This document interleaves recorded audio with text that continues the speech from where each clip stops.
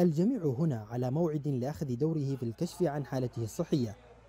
في المخيم الطبي الرمضاني الأول في بلدة دمون بمدينة تريم.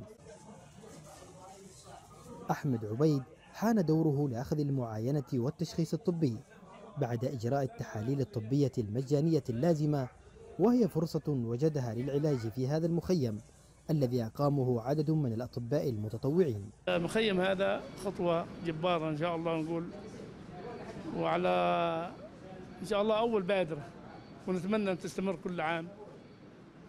مراعاة لظروف الناس الوقت. الدنيا كلها تعرفونها كلها أنتم بقع غلاء والدنيا.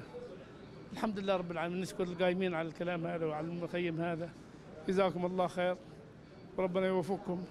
هنا وفي كل منطقة نتمنى أن يكون في كل قرية إن شاء الله. أكثر من 400 مستفيد من المواطنين في عشرة تخصصات طبية. أهمها الباطنية والقلب والمسالك البولية والنساء والولادة كما جرى توزيع أنواع من الأدوية للمرضى بطريقة مجانية. وجدنا أن أغلب المرضى يعانون كثير من مسألة العلاجات ومسألة المعاينة في كثير من الإهمال يهمل نفسه. يعني بعض المرضى يقعد سنة سنتين مرضى الضغط والسكر لا يتابع. فجاءت فكرة مبادرة عيادة مجانية لتيسير الأمور العلاجات والفحوصات للمرضى. كانت الفكرة عبارة عن فكرة من شخص واحد وبعدين اجتمعنا بعقال بعقال المنطقة وأنشأت الفكرة وتم إنشاء لجنة لإدارة هذه الحملة.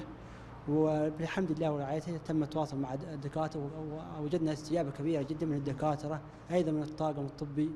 كل الطاقم الطبي موجودين اليوم متطوعين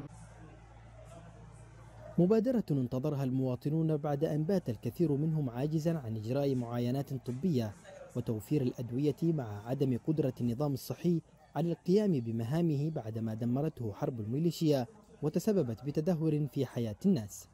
حدد مساعد قناة بلقيس من مدينة تريم.